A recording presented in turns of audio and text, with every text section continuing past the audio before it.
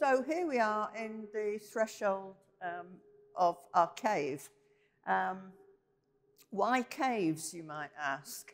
Um, well, Nottingham is a city of caves. It's um, got up to 800 um, man-made caves beneath the city.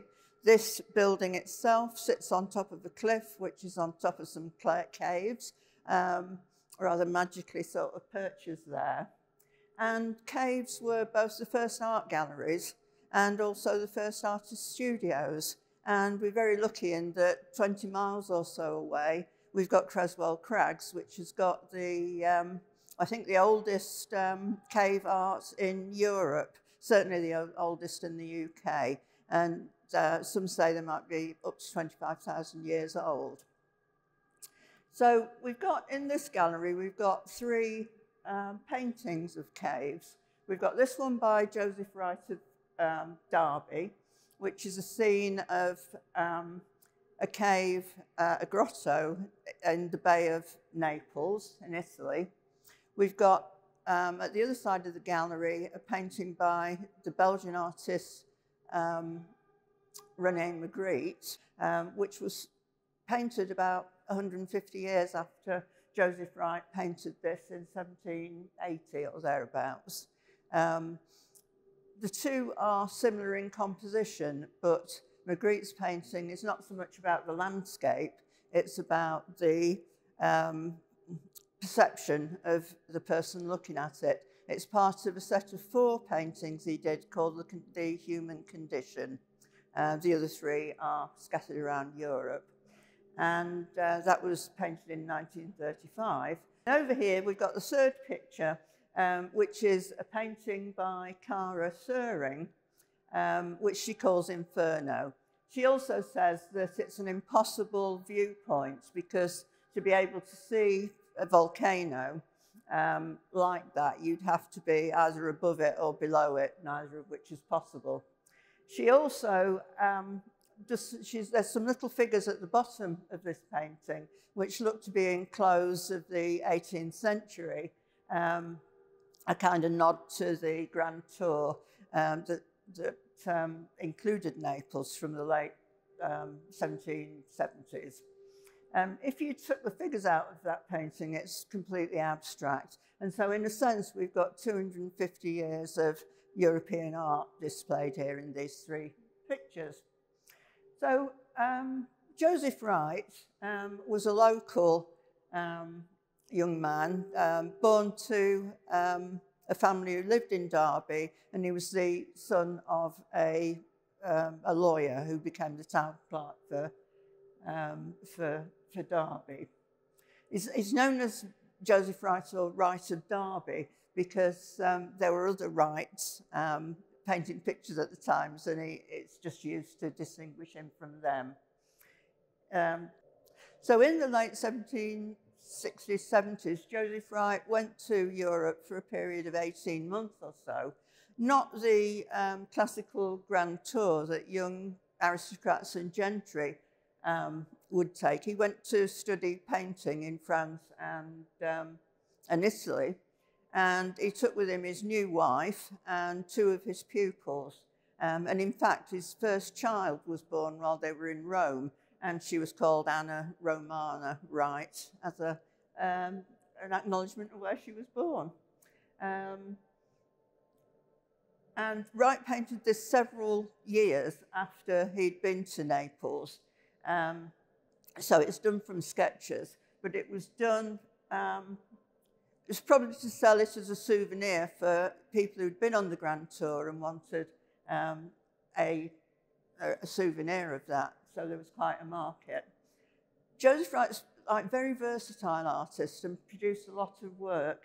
Um, and he's, he, he produced um, landscapes, um, not just of Naples, but also of um, the Peak District, Derbyshire, um, because at the time, um, the, there was a growing sort of demand for holidays in the UK from the sort of gentry and, and um, well-off middle classes. And um, Matlock Spa became the centre of some of that, and Buxton Spa, because they used to go and take the waters like at Bath. Um, and in fact, in Pride and Prejudice, um, the Bennet family um, go to Derbyshire for a holiday, and Elizabeth's not very happy because she wanted to go to the Lake District. Um, and it's said by Mrs. Bennet, I think, that um, Mr. Darcy own, owns half of, um, of Derbyshire. So that was quite, um, yeah, it was quite in vogue, really. And um, Pride and Prejudice was published in 1813, but Jane Austen started to write it some years before. So it's all one with this period. He did lots of portraits, and his bread and butter was portraits, really. He made quite a good living from painting. And if we look at the portraits that, um, that are still around with us, um, he, he's painting not the nobility and aristocracy, he's painting the sort of new captains of industry who um, are coming up both in the East Midlands and the West Midlands. Um, and notable amongst those were um, Josiah Wedgwood, um, the famous pottery family, who basically introduced um, the factory system for, for pots and also worked on bringing the price of uh, nice pottery down so that uh, those in the new middle class could, um, could afford it. He was a master of marketing, like most of the marketing terms, we, things we use today, like advertising, two for one offers, um, by appointment with Her Majesty, and so on and so forth. Um, they were first used by Josiah Wedgwood. Um, in the East Midlands, we've got Richard Arkwright, who invented the spinning machine, basically, and the factory system for textiles. Um, and he built um, a huge, uh, more than one huge factory in the village of Cromford near Matlock, um, which is now a UNESCO World Heritage Site. You can go and visit it if you want to. Um, so both of those were, um, they, they, were like the dot-com millionaires of today. They were Elon Musk and, and Bill Gates, and they did become fabulously wealthy. Um, so Joseph worked with um, Josiah Wedgwood, not just on portraits of his children and grandchildren and other family members, um, but um, pictures for his showrooms. One famous one was the Corinthian Maid, um, which um, is a picture illustrating um, a Greek story, an ancient Greek story, about how the first portrait painting was made. Um, and the tale is that um, a, a, Corinthian maid is, um, a, her fiance is going off to fight in a war. And um, as he sleeps, he's got the shadows on the wall behind him, and she draws around it. So she's got his profile to look at when he's away. Um, and then her father, who's a potter, comes along and um, copies it in relief on the wall. So we've got the first drawing of a portrait, and we've got the first sculpture of a face. And those sorts of reliefs, of course, were very much like what um, Wedgwood was putting onto his pot. And um, the, that, that particular painting was turned into um, a motif for um, pottery, which is actually still in production today. So um, you can get one on Etsy for 50 quid if you're that way inclined. Um, and I think he's, he's mostly famous, really, for um, his allegory or genre paintings. And the two most famous ones are the illustration of people looking at an orrery, which was an early planetarium kind of structure, and also one of an experiment where um, the is taken out of a jar um, that a bird's in. That one's it's in the National Gallery. Um, so, so Wright chronicles the early years of the um, Industrial Revolution and the scientific um, explosion that took place in the 18th century, period we know as the Enlightenment, um, where um, ideas of, um, uh, of experimental science, um, of political thought, political views, um, absolutely fizzed and exploded and really took us into the start of the modern world. I think we often think of the Industrial Revolution as being a 19th century Victorian thing, Uh, but in fact, um, William Blake wrote, wrote, the words for Jerusalem in 1804. So the Dark Satanic Mills were, um, were there at that time. Um, here we have a selection of pots by the contemporary artist Steven Claydon. Um, they're, they're, they're made using um, a Japanese firing technique called Anagama, which is Japanese for cave, hence the, uh, the inclusion, really. Um, these are called, this collection is called uh, Tomb and Womb because um, Anagama works by, you, you bury the pots, um, hence the tomb. Um, you then fire them whilst they're buried, and then they're reborn from the womb when you take them out. This is a, a technique used in Japan, those, though these are made um, in the UK. And um, Steven Claydon was particularly um, inspired, I suppose, by um, some of the work that was done in this technique at the end of the Second World War. So um, as um, in the later years of the Second World War, Japan found itself um, with few, if any, resources left, and it certainly didn't have the metals that it needed. So it commandeered the potteries to experiment with making munitions out of, um, out of clay. So that would be um, grenade covers, um, shell covers, and even landmine covers. Most of these were destroyed at the end of the war and just seen as, as rubbish, thrown away, but a few survive. Um, and we've actually got one in this exhibition, a couple of rooms over um, which is a mine cover from the Second World War.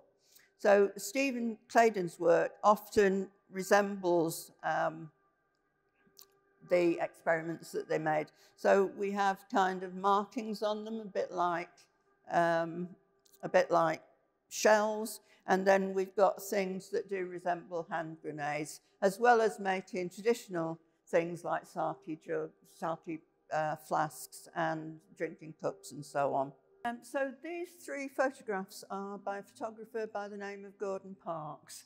Um, and they uh, were taken um, for an illustrated magazine shoot um, about um, the novel Invisible Man by Ralph Ellison, which was published in 1951.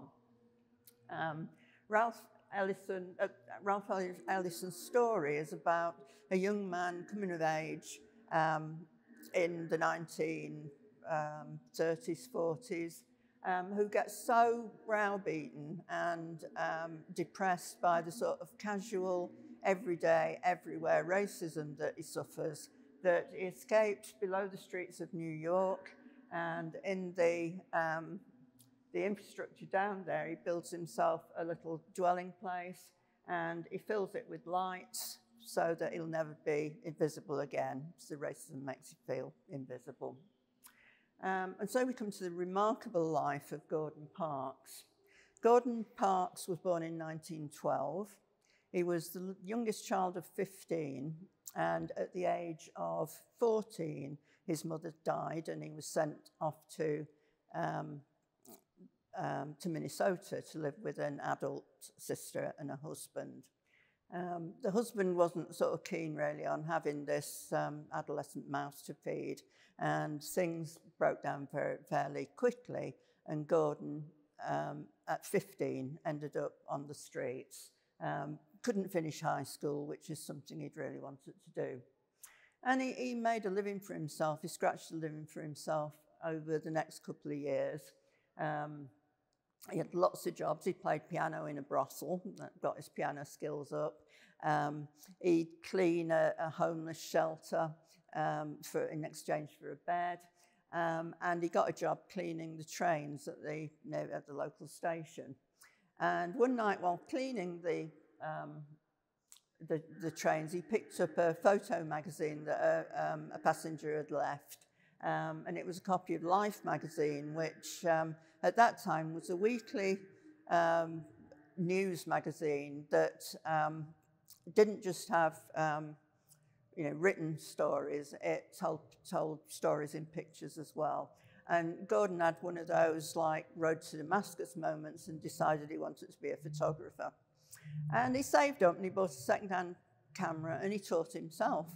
Um, and he showed sort of quite extraordinary talent so that um, several years later he, he's, in, um, he's in Chicago and he's opened a photography studio where he takes um, pictures of um, weddings, social events, of the rising black middle class, and he's making a decent living at that. And then in 1929, um, Wall Street crashes.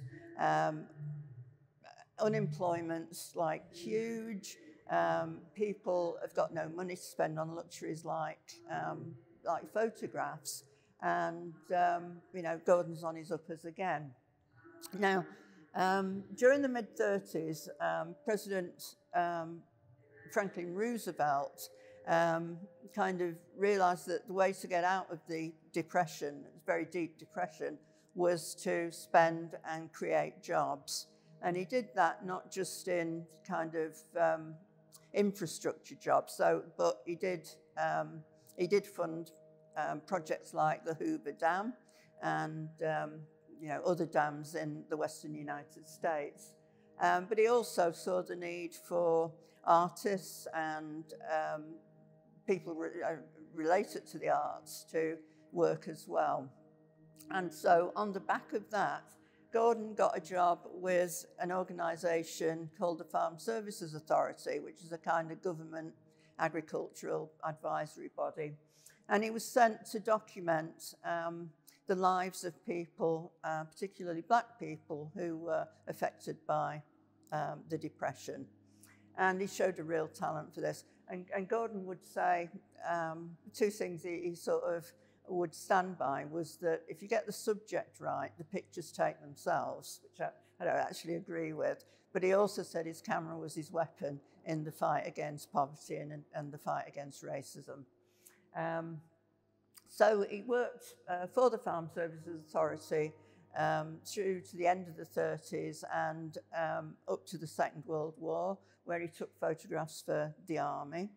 And then post-war, when those schemes were, um, were, fol were, folded, um, he applied to Life magazine as a job as a, um, a, a photographer, using his portfolio of, of things that he'd done um, by the farm, for the Farm Services Authority.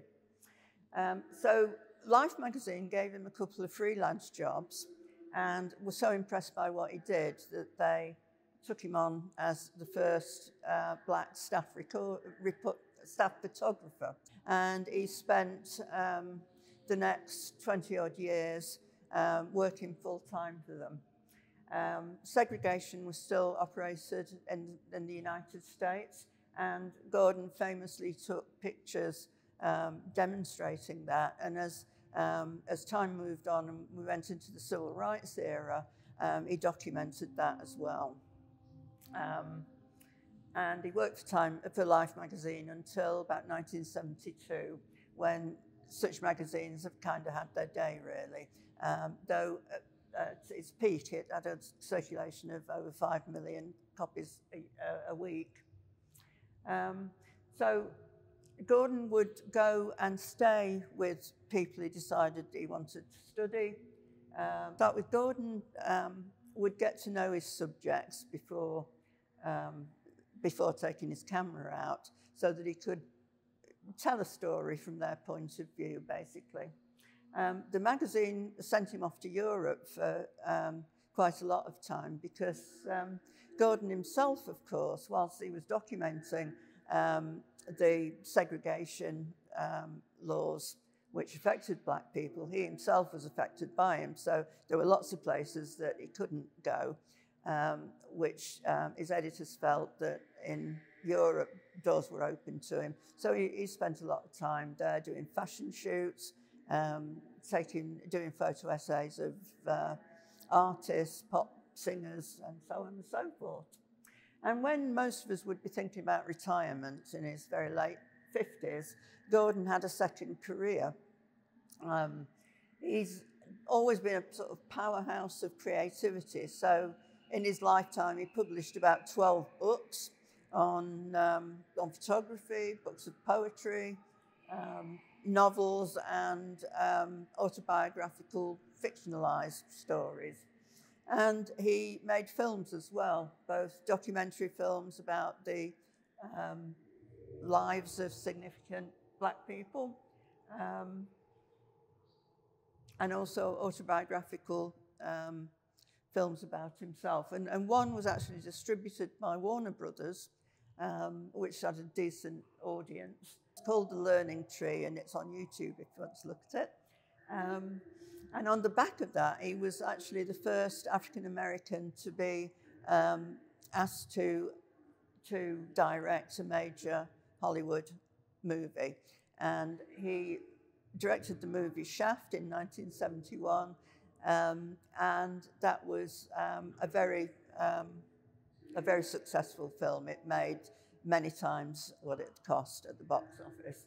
And so Gordon kind of developed this subgenre called uh, blaxploitation. And it's fair to say that some members of the African American community did not like it and thought it, it upheld stereotypes of black people as pimps and, and gangsters and so on.